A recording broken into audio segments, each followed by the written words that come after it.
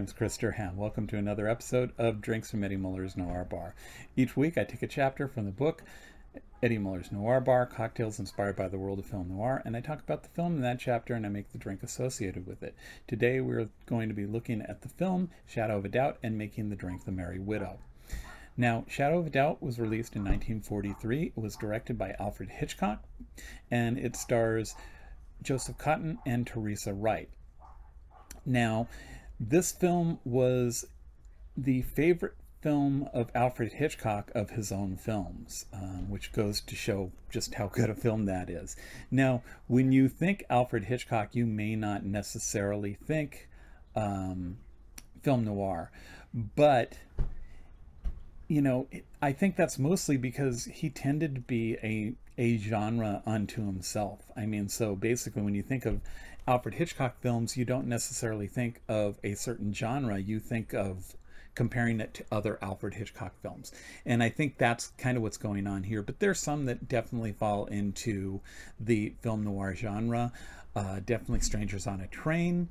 Uh, I think you make an argument for Notorious.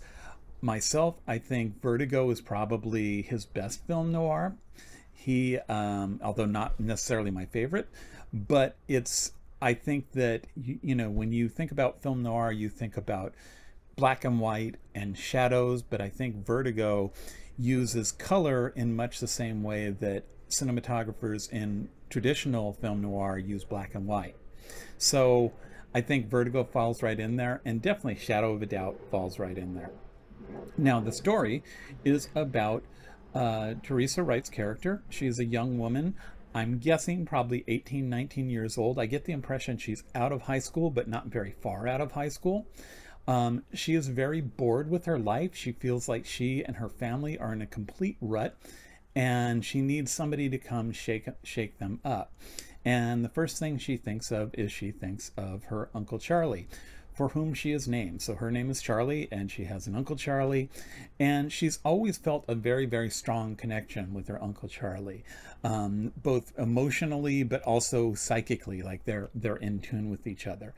Um, and in many respects, there is kind of a connection there. I mean, to be honest with you, in a way, they are very, very similar, but different sides of the same coin. She is very, very innocent and and good, and he is very not good and and just sinister. Um, but they do have that commonality between them. Um, so she gets the idea that she thinks that Uncle Charlie should come vi visit them. So he, she goes down to the telegraph office, send him a telegram to ask him to come. And she finds out that he's already sent one to them saying that he is on his way coming to town, which makes her think this psychic connection she has with him is all the more real. Now, um, I'd like to, this is what happens when Uncle Charlie shows up is there's a lot of caring and bonding and nurturing and um, no, not really. Um, Uncle Charlie is definitely not what she expected or remembered out of her uncle. Um, he kind of opens her eyes to a world she was totally un unaware of and brings to this little town, um, this little innocent town, something that they have never seen before. Um, and you know this this monster that his uncle Charlie is packaged in a very good looking, very suave, very rich, very well spoken man, but he is he's a monster. So um, the other thing I want to mention about this um, film is something I picked up in a college course I took on on film, and one of the things that you see in Shadow of a Doubt is you see a lot. Uh, Hitchcock was really playing with the idea of duality. Um, you have two characters named Charlie. Um, you see a lot of times characters are paired up in twos. Um, there are two detectives, which kind of goes along. I mean, most of the time you have two detectives. That's the way they work. But you have two siblings, and two sibling the two siblings uh, the younger brother and the younger sister are in a way like Charlie and Uncle Charlie in that they're very similar but very, very different at the same time. Both are very, very smart, both are very precocious, but the daughter is is into fantasy and reading and the son is into math and counting and, and figuring things out um, there are two characters uh, the father and the next door neighbor who are mystery fans and I that's where a lot of the humor in this film comes from is the two neighbors talking about mysteries talking about murders talking coming up with ways that they would kill each other and all the while they have this monster living among them. It's it's really great.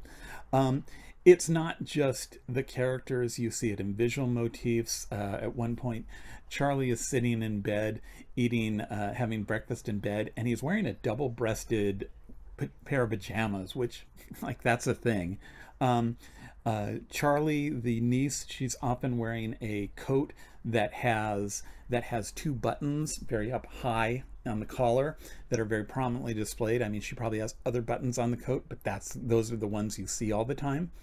Um, you know, when she runs into her friends, it's always two friends that she runs into. When Uncle Charlie takes her to a bar, they go to the Till 2 Club, and Uncle Charlie orders two double brandies. Um, now you can say, oh, well, this, this was probably just a coincidence. Uh, I don't think so. Um, I don't think there was anything in an Alfred Hitchcock movie that was a coincidence. I think he planned everything all the way down to the very minutest detail and made sure that happened because that was what he thought was interesting about making films. I mean, the, the idea of working on the script, planning the shots, planning how it was going to be shot, planning what things were wearing, how characters were paired off together. I think that was all part of his process and part of a process that I don't think anything slipped by him at all. I mean, even, you know, I mean, I just think he, he had it completely under his under his control. Um, if you do get a chance to see this film in the theater, a lot of times, especially this time of year, it's October. Um, a lot of a lot of theaters will do Hitch Hitch ah Hitchcocktoberfest, so they'll show um, Alfred Hitchcock movies. If anyone is showing Shadow of a Doubt and you get a chance to see it in the theater, you really should. It's a great, great film to see in the theater. There's a um, a speech that Joseph Cotten makes about women and, you know, rich widowed women who, you know, drink too much, eat too much, to, you know, spend all their money, money that their husbands worked their lives for. And it's just sinister as hell. And, and of course, uh, uh niece Charlie is listening to the Teresa Wright is listening to this and she's like, but they're human beings. And he turns to the camera and he just goes, are they? And and seeing Joseph Cotten's face about 12 feet tall as he as he turns to deliver that line is just it's just chilling. It's it's one of the greatest things you can ever experience in a theater. It really is cool. So the drink the merry widow. Um, this is kind of a vamp on the martini and we will back, be back in a flash to make that drink. So stick around. Thanks. And we're back so we're going to start. Now this is the Merry Widow. It's kind of a take on the Martini. Um, going to load up our stirring glass with ice. And good. Okay. And then we're going to start with an ounce and a half of gin.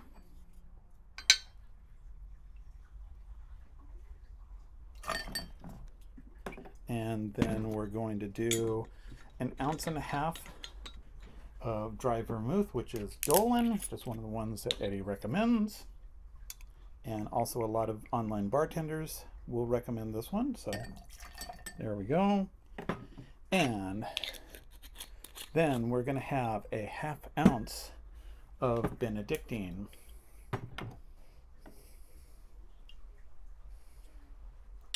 So half ounce of Benedictine.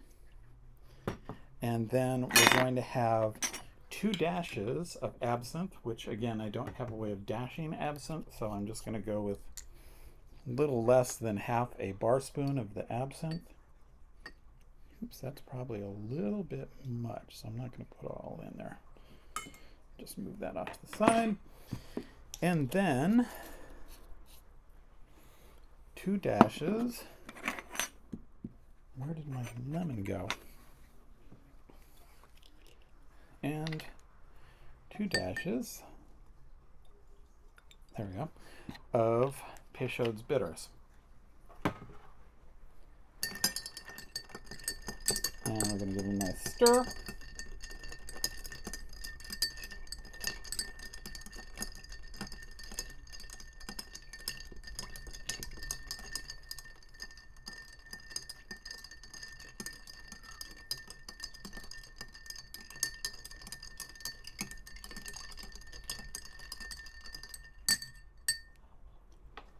Okay, and then we're going to strain it into a chilled coupe glass. And I just realized I forgot something else. I forgot the lemon for the lemon peel garnish. So I'll be back in a flash. and magically the lemon appears. Okay, so I've got this peeler, which I'm going to try. I don't usually use this one. This one produces a very long, skinny peel of a lemon. So I'm going to give that a shot.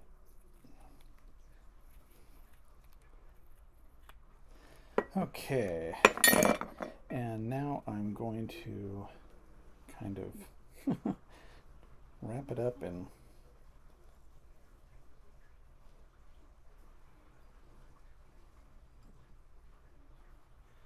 And then I think I'm going to wrap it around my finger so that I get a nice tight coil. And drop it in. Okay, so now we have the Merry Widow.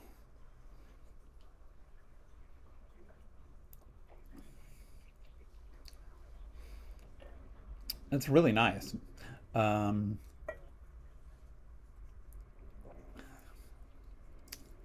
I'm not really it's definitely different. I'm getting the, I'm kind of getting the Benedictine a lot, um, but it's there's a lot going on in this drink. It's it's a really nicely well balanced drink.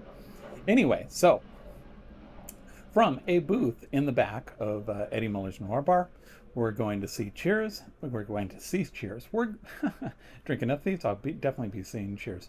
Um, we're going to say Cheers and I hope you join us next week for another episode of Drinks from Eddie Muller's Noir Bar. Thanks for coming. Bye.